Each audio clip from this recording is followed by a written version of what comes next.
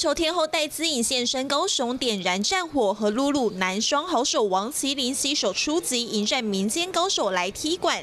比赛还没正式开始，暖身练习就让球迷看得目转睛。羽球一姐展现高人气，不少粉丝带着加油手板前来一睹小戴风采。不过这次的热身赛制不太一样，这是流传在羽球界中的隐藏玩法——三对三对决，也是戴资颖的私藏训练游戏斗拍。赛前他霸气喊话。这次的第一名多漂亮！对啊，那个奖杯在后面，超漂亮的。对啊，我想要拿到它。上次我只能颁奖给别人，没有办法颁奖给我自己。我希望这次可以颁奖给我自己。其实我这次来最大的目的也是要来看戴志颖本人啊，因为这个感觉真的很奇怪，因为平常在看他打球，然后我刚刚练球居然是跟真实的戴志颖在对打。不止这一仗瞄准冠军，面对巴黎奥运倒数计时，他也全力备战，还是会先以呃每一场比赛，然后去。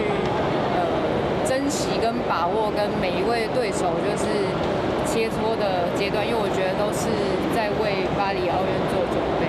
而获得丹麦世界球王安塞龙称赞反手拍是最好的，小戴则谦虚回应：我觉得其实他打的比我好，让他说哦有这个想法可以去练习这个东西。把握每场赛事，维持手感与强度。预计今年退休的戴资颖也期望为自己个人职涯最后一舞写下完美结局。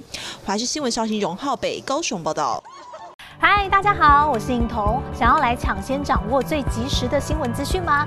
赶快订阅、按赞、开启小铃铛，锁定华视新闻的 YouTube 频道。